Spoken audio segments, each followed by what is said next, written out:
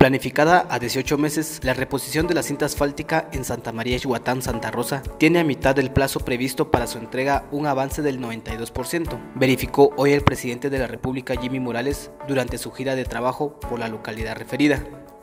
Estamos en la fase de la supervisión de la obra. Hemos hablado con la empresa encargada, a la cual le agradecemos mucho porque no solamente terminó en 9 meses lo que estaba planificado para 18, sino también porque alcanzó un ahorro de 3 millones de quetzales en la ejecución del proyecto, dijo Morales.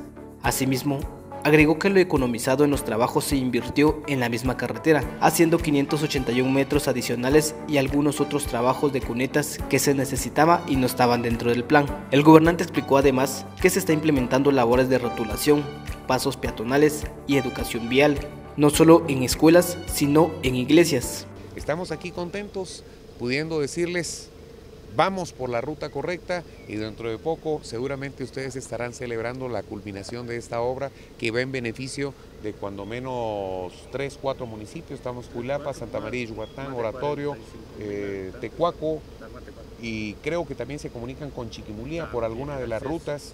Entonces creo que con esto, más la carretera que se está haciendo de Chiquimulía al Boquerón, la reposición de asfalto. Hoy iremos a supervisar también la de Tacisco hacia la Avellana y también tenemos una supervisión pendiente de la que viene de Estanzuela, eh, Nueva Santa Rosa, Espitia y que va a llegar hasta el puente. Dios mediante podremos extenderla hasta la carretera. Eso ya sería eh, conectar con Cuilapa y eso nos ayudaría mucho en todo el tema de, logística, movilización e infraestructura aquí en, en, Santa Rosa. La obra cuenta con una longitud de 13.2 kilómetros de reposición de cinta asfáltica, con un ancho de rodadura de 6.5 metros y cunetas de un metro.